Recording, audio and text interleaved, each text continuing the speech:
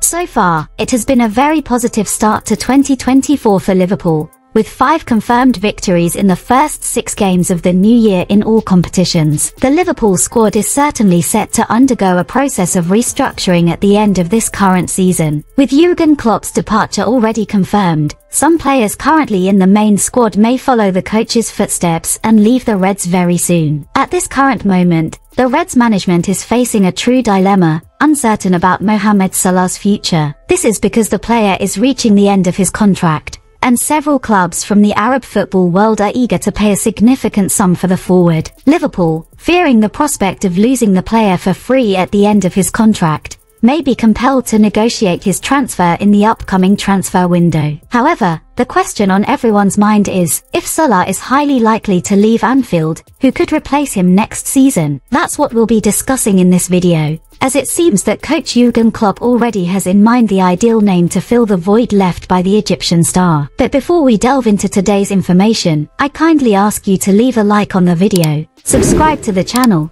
and activate the notification bell to stay well informed. With that done, let's move on. Up to now, the beginning of 2024 has been very positive for Liverpool, with five confirmed victories in the first six games of the new year in all competitions. This impressive start has led Jurgen Klopp's squad to advance to the Carabao Cup final, the fifth round of the FA Cup, and maintain their position at the top of the Premier League table. Although the team has been busy on all fronts trying to secure another title before Klopp bids farewell to Anfield, the Reds management has been relatively inactive in the transfer market. The imminent departure of sporting director Jörg Schmadtke may have played a small role in this. However, Liverpool's cautious approach in the transfer market could change very soon. According to the English newspaper Team Talk, the 22-year-old Japanese player, Takefusa Kubo, has become the primary target for the Anfield faithful to take Mohamed Salah's place on the right wing of Liverpool. The report goes on to state that Jurgen Klopp has identified Kubo as the ideal name to replace Salah next season. As a result, the Reds are making the Real Sociedad star their number one target for the upcoming summer transfer window. There is already a consensus within the Anfield circles that Kubo is the ideal replacement for Salah,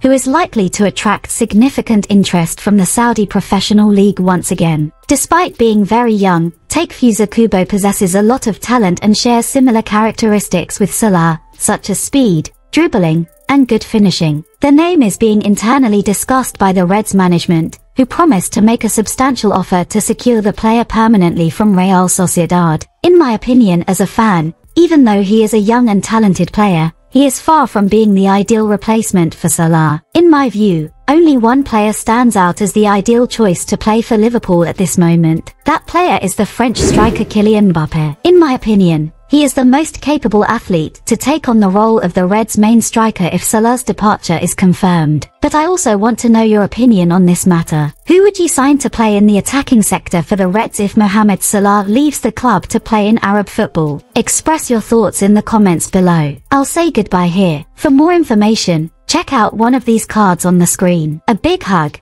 and see you in the next video.